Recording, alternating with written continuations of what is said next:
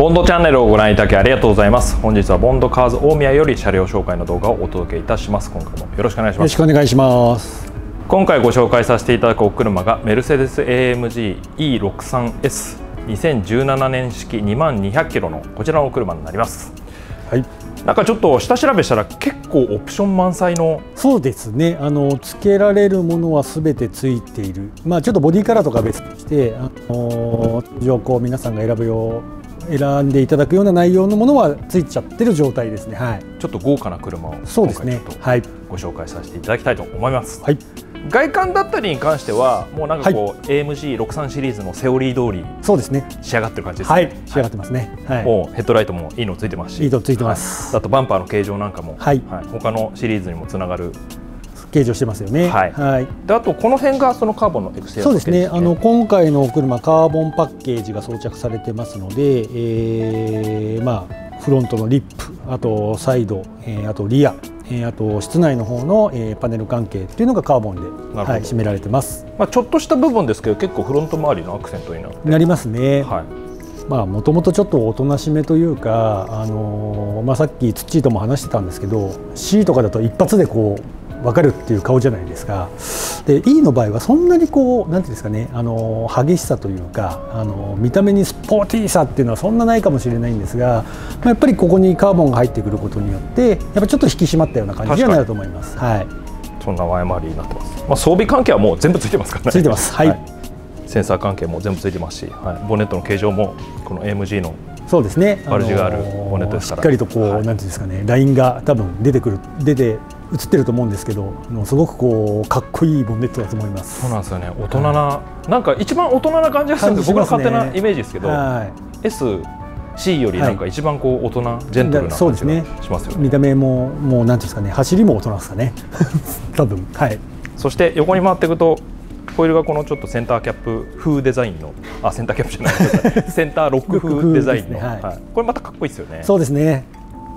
まあ、定番でもあります定番ですね。そしてその奥にはい。高級品がそうですね。またあのついてる車が入ってきましたんで、これおさらいしたらだって、はい100 万円オーバーじゃあのないですか、110万円ですかね。はい。実際どうなんですか？市場的にはこうついてる車って多いんいですか？や、えー、とそこまで多くないですね、やっぱり。ですよねはいまああの実際、まあ、ちょっとレースとかサーキットとか行くっていう方なら選ばれると思うんですけど、まあ見た目の部分で選んでる方がこうつけて買われてんじゃないのかなっていうところですのでいやそんなにやっぱ多くはないと思います。普通にこうストリート走る部分で言ったら、はい。このスチールブレーキと カーボンのはい。違いとかってこう、はい、あんまりないじゃないですか、はいぶっちゃけ。はいですよね、はいそこに100万円出せるって結構こうそうなんですよ豪華オプションですね豪華オプションです。はい。そして違いがこのゴールドのキャリパーですよね、はい。だからこれでもう一目でわかりますね。はい知ってる人が見れば、おはいすごいオプション入ってるっていうっていう形ですね。はい。そこだけで多分選んでる方がほとんどなんじゃないかなと思います。はいじゃあもう結構中古車なんかについてたらはい。結構お買い得なそうですね。オプションの一つオプションの一つですね。はい。あと E クラス特徴的なのはエアサス？はい。エアサスになってますね。C63 なんかと違ってエそうですね。アサスになると、はい。なってます。でちょっとこの辺がはい評判で言うとかなり硬いらしいんで、はい。ちょっとこの後乗ってみたいと思い。ます市場の方ではい確認いただければと思います。でこれが一応一番今下がってる下がってますね。はい。はいまあ、あとはお好みに応じてモード得意のロはい。ーダウンなんかあのーそうですね。ローダウンさせることは可能ですのでご相談いただければと思います。こんな足元になってます、はいあと横はこの辺もあれなんですか？パッケそうなんージのです。そうなんです。ここ結構はい。印象そうで的ですすね,、ね。はい。あのーまあ他のグレードというか他の車種にはない形のものになりますね。はい C なんかないですもんねないですね。はい。ちょっとしたアクセントになっててかなりいい感じじゃないでしょうか、であとはミラーだったりも。ミラーもそうですね、はい。カーボンになってますね。まあ、本当に定番というか、はい、スタンダードなポイントではありますけれども、はい。ミラーとあとサイドスカートもそうですかね。サイドスカートですね。はい、この辺なんかも。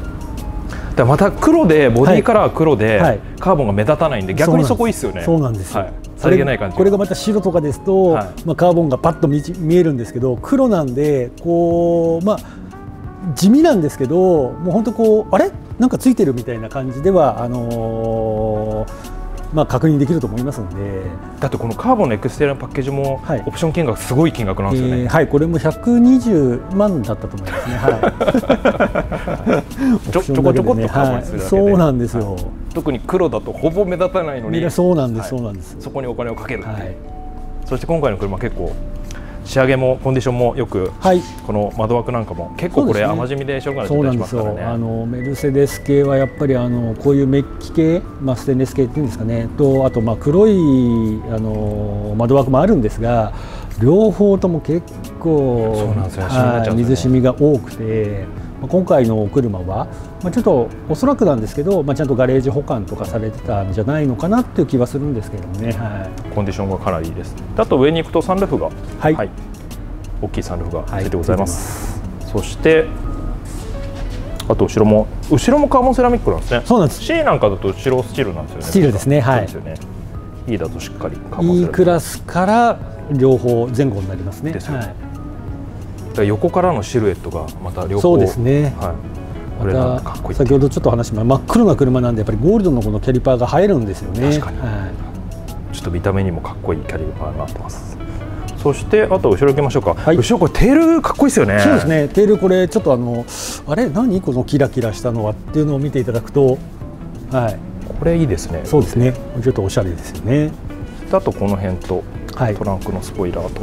はいもうだからいじるところがないんですよねそうなんですよ。あの本当にそうなんですよね。もういじるところがないので、まあまずはその例えばそのちょっとメッキが気になるとかっていうんでしたら、まあブラックアウトしちゃうとか、あとはもう本当ホイールとかローダウンとかっていう感じですかね。本当にちょこ。こちょこっといいかなっていう感じですよ、であとはマフラーなんかもしっかりこれはカッターカッターというかバンパーについてはい。やつでするね。タイプですね、はいでここもしっかりカーボンになってるんですねそうなんです。なるほどこれだから本当に夜だったらカーボンの存在全く分かんないねわかんないと思います。はまあ黒いい。そうなんですよ。そのこのさりげなさがいいですよいいですよね。ちょっと早速なんですけど、なんか行きましょうか、じゃあ。じゃあ続いて内装を見てみたいと思います。内装はもうあれですよね、装備もフルフルでついてるはい。ついてますね。唯一このちょっとソフトクローズが、はいこれオプションでもないわけですよね。ないですね。はい。そんな感じになっております。で中がまた中はこれ外装となんかこう一緒ではい。シックというか、はい。大人の。そうですね。もう本当にもう黒をベースに、またその黒もちょっとやっぱり素材の違いで、はい、あのまあなんていうんですかね、あのコントラストじゃないですけどありますので、非常におしゃれだと思います。は本当に黒一色なんですけど、はい。立体感があってそうなんですよね。はい。おしゃれなんですよ、はい。そしてこのステッチだったりとかパイピングがグレーですかね。ね。はい。はい。ちょっと入ってるい、っていう。入ってますね。あとシートベルトもちょっとグレーの。シートベルトおしゃれですね、これ。はい。ただここに赤とか、はい。なんかそういうの持ってきちゃうんじゃなくて、はい、またちょっとそっち、はい。ちょっと違う方向行っちゃいますからね。めちゃめちゃシック、はい。大人なインテリアになってます。ドアから見てみましょうか。ドアなんかはこの上の方が全部レザーですかね。でカーボンのパネルになってて。でブルメスターでしたっけ？はい。ついてると、はい、こんな感じのドアになってて、まあ、シートさっき触れましたけれども。これがなんかオプションであれですよね、はい。あのダイナミクーシートになってますね。クーシートですよねはいあのスポーツコーナリングの時もここそうですそうです。はい。だとマッサージなんかもオプションについてはい、マッサージあのリラクゼーション機能がついてますね。はい。でステアリングなんかもしっかりアルカンターラのもので、はい。センターマーキンングが同じくグレーですかねグレーですね。はい、レーザーが入ってるとはい。ちょっと乗ってみたいと思います、はい。よいしょあしっかりこのスカフプレートのところも、はいはい。AMG のイルミエントランスがついてて、はい、で内装に関してはこんな感じですもうシリーズなんか結構統一されてるというか統一そうですねされてますね。がはいでディーラーかな？はい。の働いてる方に、はいあの YouTube でコメントいただいたんですけど、ええ僕的にはこう全部統一されてるんで、はい。こう戸惑わないじゃないですか、はい。どれ乗っても、はい。そうですね。使い方も、はいただ逆にはいそうするとこう変わり映えがしないんで、メーカーを変えるっていう方がそういうこともあるのかもしれないですね。いらっしゃるみたいですね。はい、でも割とどのメーカーも例えば BM にしてもアウディにしてもやっぱりもうなんか統一されてるじゃないですか。あのまあ、それがそれでまたいいところでもあるし逆にそのお客さんによってはネックになっちゃってるところもあるってことですね。はい、ただこのでかいモニターというべきか、はい、そうですね。メーターというべきか、はモニターなんですかねやっぱり。いはい。使いやすいと。もう全部共通ですからね。そうですね、ついてると。でこの辺もうちょっとおさらいになっちゃいますけどバババッとはい。この辺の切り替えもついててはい。メーター関係もしっかりはい。デザインも変えられてはい。でヘッドアップディスプレイも、つい。はい、だとパフォーマンス関係も、はい。しっかり全部できちゃうともうだから出来が良すぎて、はい。なんかそうですね。そうですはい。ね、ちょっとこうおさらいするだけになっちゃう。と、ははい。でこの辺に関してもしっかり、はい、他のモデルと共通で、はい、全部ついてると。ついてますね。これバババッとでいいですかね、はい。はい、そしてマッサージがついてるわけですよ。そうですね。リラクゼーション、はい、もうだから本当になんか S クラスとなんか遜色ないですよね。そうですね。この辺の機能はもうほとんど前の座席に関しては、は。はいも全部ついてると。であとは全部カーボンのパネルで。カーボンのパネルが。ダッシュボードも全部当然レザーで、はい。この辺なんかも全部カーボンでございます。で IWC の時計がついてて、はい、この辺なんかもあれですよね。はい。一緒というか。一緒ですはい。ね、こんな感じで、はい、やっております。そしてこの辺も全部一緒ないですね。は ちょっと動画的にはどうなんだっていいう。そうですね、はい。そしてこのアームレストの中も、はい、USB2 系統そうですね。はい、この辺も一緒ですかね。はい、そしてシートに関してははい。どうですか？でしょう？はい。クッション自体ははい。ちょっと硬い気が、そうですね。ちょっと張りのある感じはしますね、はい。ただサイドサポートとか結構張り出しあるんで。張り出しですね。はい、ホールドはかなりいいと思います。でステアリングはこのアルカンターラが若干使用感ありますけれどもやっぱりこのあアルカンじゃないんですよね。ダイナミック、えー、そうですね。ダイナミックですね。はい。失礼しました、まあ、スウェードと言っておきましょう、はい。スウェード調のこのステアリングこの吸い付くような質感やっぱり最高です。そしてあとピラーがファブリックになるんですね。はいそうです。それはスウェードとかじゃないんですね。じゃないですね。なるほど。そしてバイザーもこのビニールの、ここもうちょっとそうですね。ちょっとあとここぐらいですかね、少しもうちょっと。まあ一応その紫外線が当たったりとかっていうのがあるんで、こう素材が変えてあるんじゃないかっていう説ありますけどね、あと今回の車は欲しい装備がそうですね。あの最初からついてますんで。この辺も買うと数万円数万円するじゃないですか？しますします。はやっぱりついてるといそうですね。最初からついてるともうら便便利ですし楽ですし、はい、あのプラスでかかることもないので、はであとはサンルーフがいはい。ついてございます、なんかでかく感じますね。いやそうなんですよ。あのーなんなんですかねあの他のクラスに比べてちょっとこの開口部が大きい気がするんですよね。しますよね。はそれ気のせいなのかそういう風に感じるだけなのかわかい、んない。そうなんですよ。こんな大きい開放感があると思いますこんな内装になっております。であとそうだ。装備関係はもう全部フルで、はい。ついてますかね。はい。ついて感じですねこの。こんな感じになっております。いいですかね。はいちょっと本当に出来が良すぎて、はい。コメントに困る困りますね。はい、は特にだって E クラスってもういわばこうメーカーの看板的な存在なわけじゃないですか、はい。ははい。やっぱりここ悪く言えばこう冒険しないですけど、よく言えばもうやっぱりこうい教科書通り。ね。な作りになってますね。完璧な作りでございます、じゃあ続いて後ろの席を見てみたいと思います、後ろがちょっとこう、はい。大きくこう S クラスとちょっと。はいそうですね装備的に分かれる部分という。そうですねまあそうですね。はい、ただスペース的には全然広くないですかそうなんですよ、あの今、ツッチーがおっしゃったように、あの装備的にはやっぱり S クラスには全然あれなんですが、あのまあ、どっちかというと、多分後ろの席って C クラス寄りだと思うんですね。でまあ、C クラスですとやっぱりちょっと足元狭いよとかそういった部分が結構皆さんやっぱりお声聞くので、まあ、E クラスになると、まあ、これだけちょっと広くなってきますのであの後ろの方もゆったり座れるかなと思います。はい、ちょっと板尾さん乗ってみますか、はい。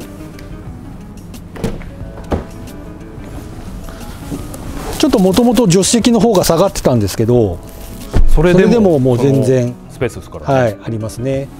で結構だって助手天井も席下がってますもんねはい、天井もまあ高いとは言わないですけれども、私170ちょっとなんですけど、実際すいません、こんなパーマ頭なんで、あの実際はまあここが頭なので、まだ余裕ありますね。拳一つぐらいあります余裕が。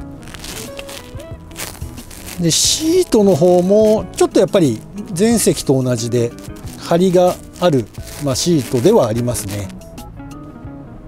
あとまあちょっと肘掛けと、まあ、この辺は他のクラスとも一緒かもしれませんがドリンクホルダーとあとちょっとした小物入れがございますあと、まあ、エアコンは吹き出し口に一応あのこちらあのちゃんと温度調整も、はい、あとは風量も調整できるエアコンがついてますので。3ゾーンになってます、ね、3ゾーンですね。4ゾーンではないわけないですね。でまああとは灰皿とあとは12ボルトの、はい、電源が取れるようになってます。あと快適装備でいくと、はい。シートヒーターがシートヒーターはあのついておりますね。はい。ただシェードとかはない感じないですだその辺がちょっとこうこれ以上こうリアシートを快適性求めるんであればそうですね。S クラスへどうぞはっていう感じですか、ことですね、であとまあこの辺はあなるほど、トランクトランクスルーついてますんで、まあ、ちょっと長物とかも詰めますよっていう感じになってますね。特にリアシートがなんか本当に S クラスと C クラスの中間というか、中間ぐらいなイメージですかね。まあ、スペース的にはもうかなりはい。広く広くちょっと広くなってますね。装備的にはちょっと必要最低限というか、はい。ですね。こんな感じのリアシートになってます。はい。じゃあ続いてトランクを見てみたいと思います、これ足で開けるやつもついてる感じですかね。あなるほど。当然ですよねこれ。はい。はい、でもちろん当然のはい。電動で、そしてトランクが広い。広いですね。奥が若干こう傾斜してるというか。そうですね、はい。ちょっとこう下がってきてるんですかね、はい、ただ全然広いですね。全然広いですねもうゴルフバッグとかも余裕で入りますねはそして下もはい。少しあって、いはい、出ましたコンテナ。はいはい。コンテナ。これもう必ずついてくるコンテナです。だとエアサスですかねこれは。はいエアサスですね。あとセンターキャップを外すはい。カップなんかがあったりとか、はい、はい。こんな感じのトランクになってる。いやもうだからなんかダメなとこがない。そうなんですよ。はいそうなんですよね。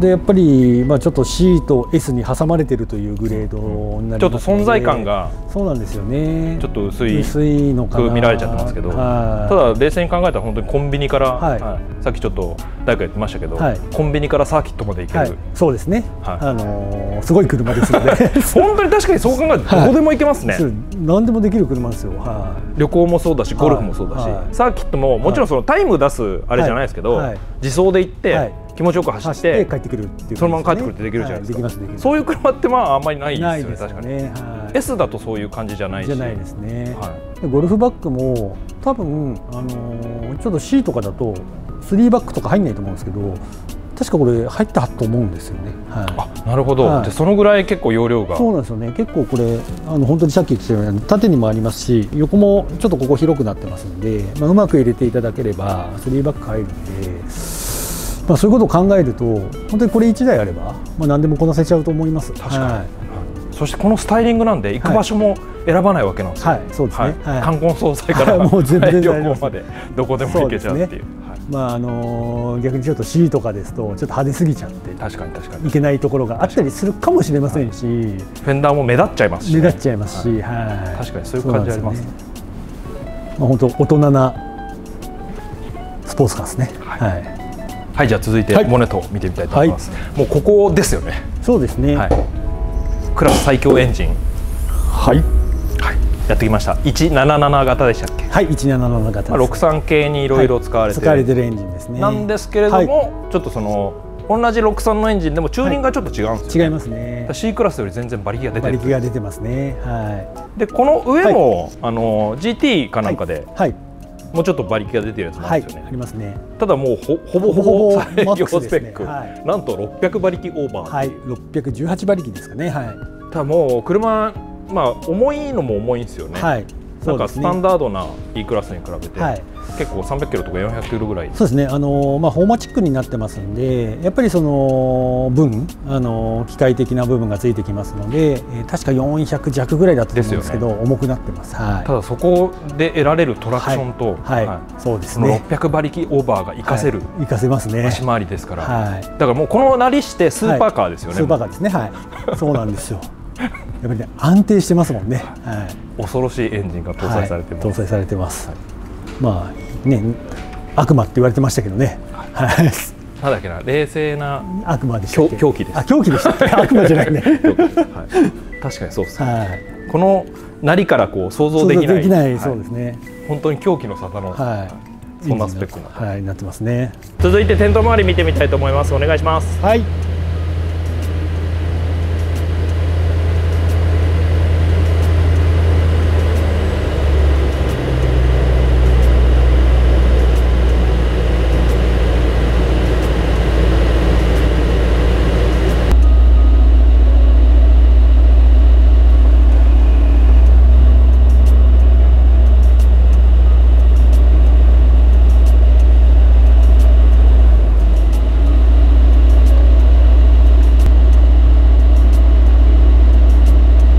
続いてマフラーの音も聞いてみたいと思います。お願いします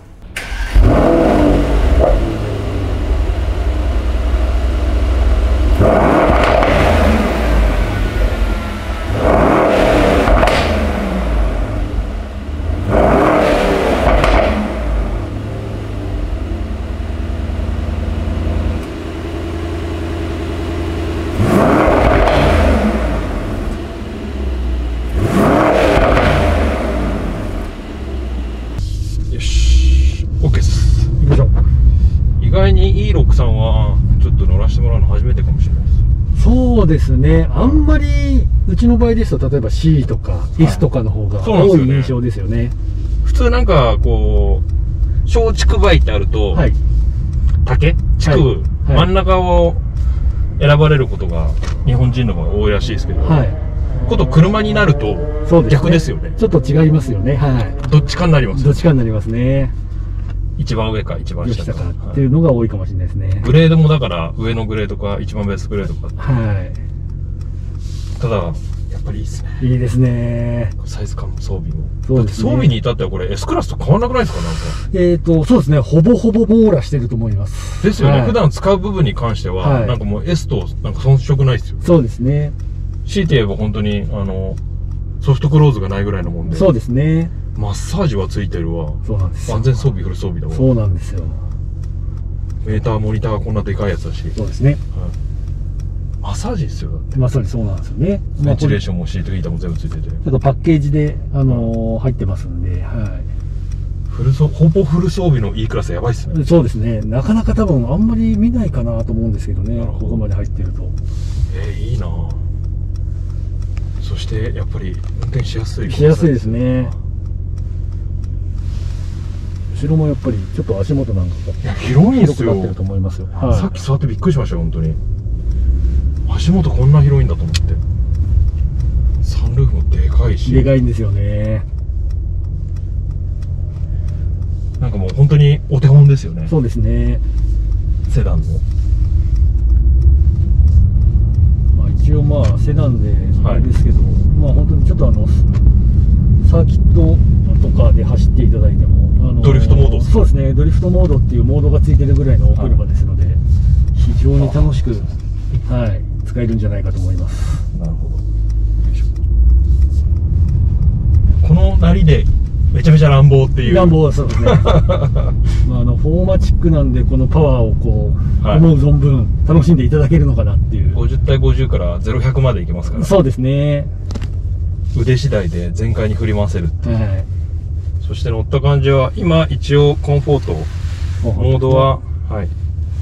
コンフォート、はい、C ですね。いいですね。さすがエアサス。なんか他の,、あの海外のレビューとか見たら、はい。割とその C でも固めって言われるんですけど、はい。はい。僕はもう全然なんか慣れちゃってるんで、はい。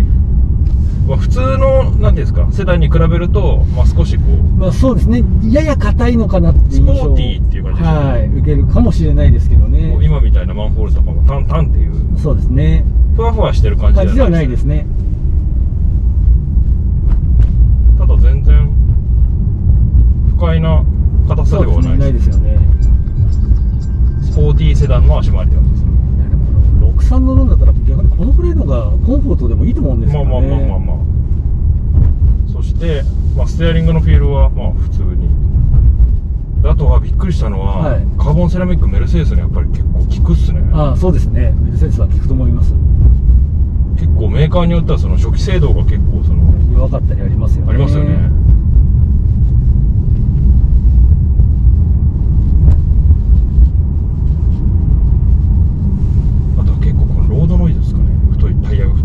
そうですね。ちょっとやっぱりタイヤから拾うところが若干あるかなと思います。全然いい感じです。ちょっとブレーキを踏む機会がないんですけど。そうですね。なかなか大ないですけど、ちゃってあちょうど今が信号なんで。あ全然効くっすよ初期制度。あ効きました？はい。ランボとかって結構こうスーってちょっと最初温まったりこう、はい、そうですね。ありますよね。ちょっとスーっていっちゃうイメージですけど全然やっぱり普通に使えますね。そうなんですよね、うん今コーナリングでちょっとあのダイナミックシートがちゃんとサポートをこうキュッとやってくれて、はい。いいっすよね。そしたらじゃあちょっとモード切り替えしてスポーツからいきますか。はい。ああーもうスポーツで結構そうっすね。そうなんですよね。アクセルのレスポンスが、あ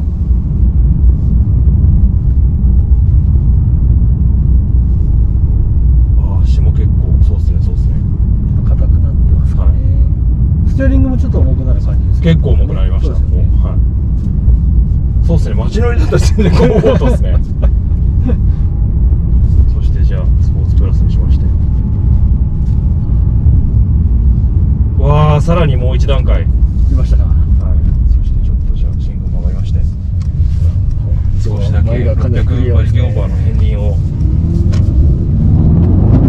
やばいこれ。これ早い これ早い。ちょっとやばいですねこれ。これ僕最近、はい。あのー S63 のクーペ、はい、はい。後期のやつ乗せてもらったんですけど、車軽いからですかね。そうですね。なんか蹴っ飛ばされる感全然ありますね。加速感若干違いますよね。あの同じエンジンでもやっぱり車違うと変わりますね。またちょっと C クラスと違った乱暴さがそうですね、まあ、安定して速いですよね。安定して速いですね。うーわ今超速かった なんすかねまたこのくボディの大きさとこの車重で、はい。同じ加速でもちょっとこう違って感じますよね。感じますね。あとやっぱり4駆だとやっぱり本当にこう安心してこう踏んでいけるっていうのはありますよね。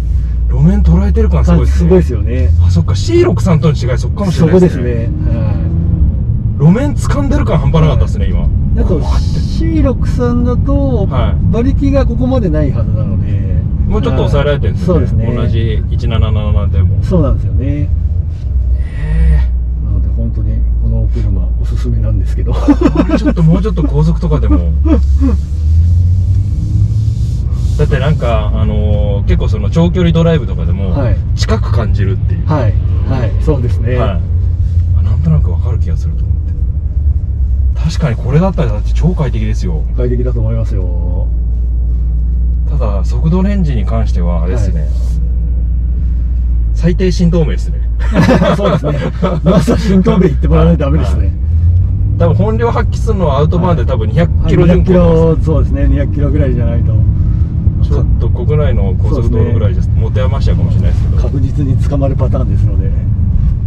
これはすごいちょっとポテンシャルがちょっと C を検討してるんだけどっていう人も少し余裕があればぜひ。そうですね。はい。ちょっと乗り比べるのいいかもしれないですね。そうですね。かあのそういう環境あれば。はちょっとこれはすごいっすよ。い S になっちゃうとやっぱりちょっとコンフォートになっちゃうじゃないですか。やっぱりこうスポーティーなところでっていうんであればこっちの E63 の S の方がいいのかなって気がしますねちょっと車格的にもはい装備的にも大きさ的にも、はい。なんかちょっとこう乗らされてる感はい。少しずつこう出てきちゃうじゃないですかやっぱり。そうですね。これ自分で振り回してる感あってすごいですね。これもうほんと全然違いますね。全然違いますよ。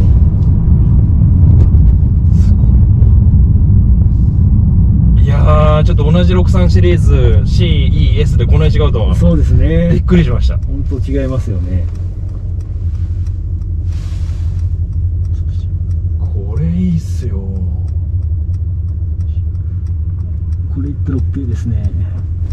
これちょっとあれっすね。あのー、もっと評価されていいっすね。そうですね。だってこれが新車の半額って驚異的じゃないですか。そうですね。実際これ確か1700万ぐらいにちょっとオプションが今回ちょっと多めについてて280万ぐらいのオプションがついてるんで、はまあ実際もう2000万の車が。ですよね。はいちょっと900万切っておりますので、はい。これあのー、BM の57に次ぐちょっとこう。そうですね。ちょっとお買い得というかそうっすよね。はい、コストパフォーマンスはいいのかなとコスパめっちゃいいっすよこれ。こんなに装備充実してて。そうなんですよね。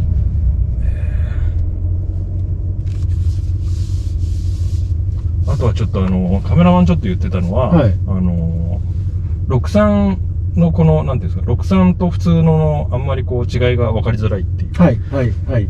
そうですね。ただ実際あのデザインは結構多分あのピラーから前側は多分あの通常の E と全然違う作りにはなってるはずなんですよね。でも C みたいななんかこうなんかそうですね。ロゴスさがないですよね。んですよね。逆に僕すごいいいなと、ははい。C クラスってもうなんか雰囲気が出ちゃってるじゃないですか。出てますね。ワイドさといそうでバンパーと。そうですね確かに。E クラスってもはい。もともと車が割とちょっと大きい大きい車ですからね。ね。ちょっとその C クラスみたいなもうこう63ですよっていう感じは出してないので。で逆に大人な感じでいいっすよ。やっぱりね。これいいなぁ。ちょっと新たな発見です。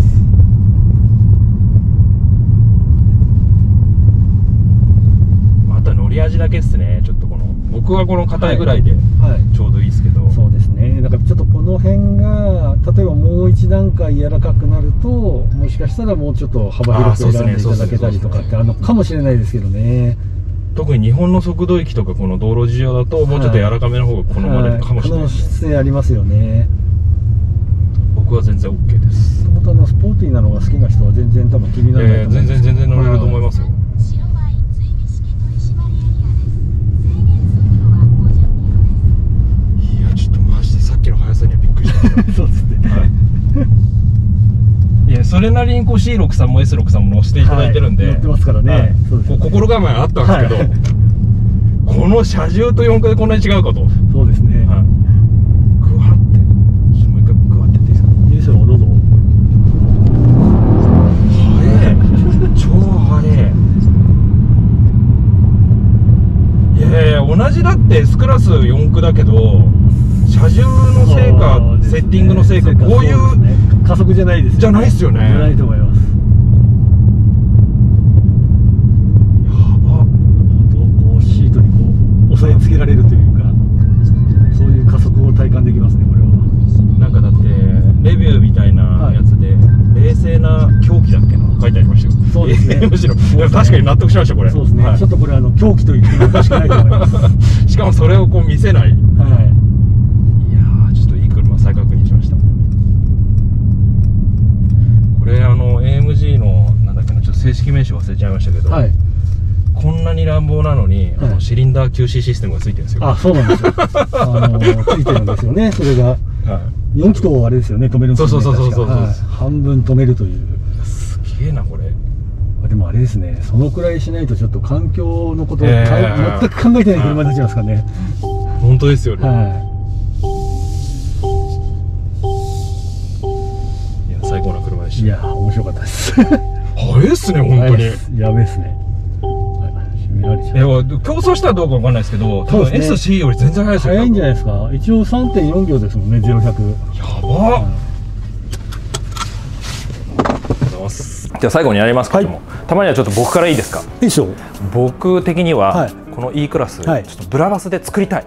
作りたいです。いっちゃいますかブラバス、このジェントルな佇まいなのに、はい。ちょっとこう頭おかしいぐらいのこのそうですね。サウンドと走りを。そうですね。ちょっとこうもうちょっとこうブラッシュアップさせるためにも。はい、はい。そうですね。ちょっとブラバス。そしたらぜひぜひあのそのはい。ブラバスしたいっていう方に購入いただいて、はい。か、まあはい。もう少少しパーツつけて、はい。まあ、タイホイールブラバスにしてで、うん、そうですね。車高にしてでもいいんですけど、そうするとこうはい。ちょっと、そうですねジェントルな感じと、はい、かなり存在感が出てきますね。すねはい。